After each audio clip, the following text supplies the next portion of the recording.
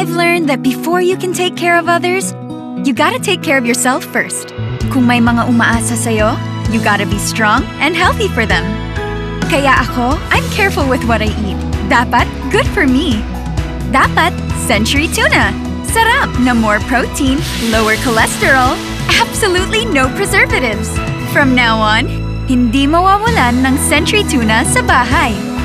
For me and my family, worth it talaga.